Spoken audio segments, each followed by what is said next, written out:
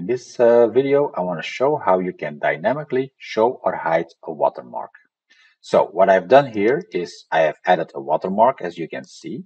And this watermark, if I uh, select this one, you can see it's anchored to this paragraph over here. So if I select this entire paragraph, it also shows my watermark.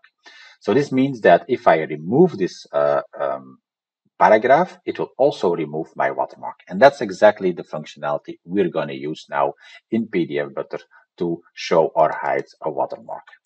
Let's go and take a look. I'm first going to copy the show watermark um, placeholder merge field right here. I'm going to copy that.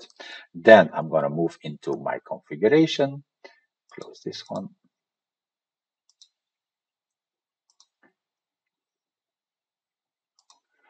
And then I'm gonna, on my uh, opportunity, select the private selection to show or hide the watermark. Now, um, this one will open up or will upload my new document here. Okay, and then I'm gonna add the configuration. So first I'm gonna add my configuration show watermark. This is gonna be of type paragraph. Uh, the data source is opportunity. The merge field is again a show watermark. I need to remove the merge field, not the paragraph, the merge field only. And then I'm going to add a condition. I'm going to say the uh, is private equals to true. Okay, that's one item. Now it will show or hide the watermark.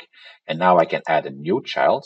And then uh, my child for the watermark is going to be, uh, or my merge field for the watermark is going to be merge one, as you can see here.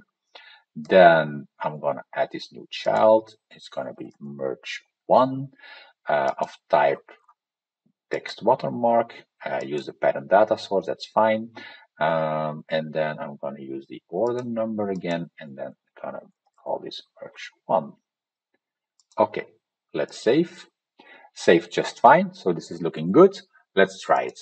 Gonna go to my opportunity, and then I'm gonna click this one and see if it would show actually the ABC1234. Okay, that's perfect, looking good.